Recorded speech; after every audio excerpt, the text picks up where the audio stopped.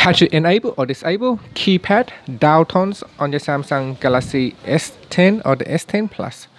First tap on the home key to go back to your home screen, then launch the phone app.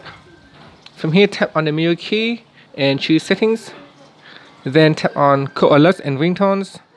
Go all the way down to the bottom and tap on play keypad tone switch to turn on off. And that's it. Finally, you can tap on the home key to go back to your home screen. So whenever you dial on the keypad, if you turn off then there's no noise.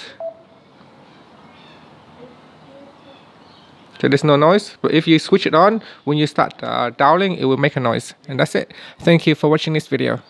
Please subscribe to my channel for more videos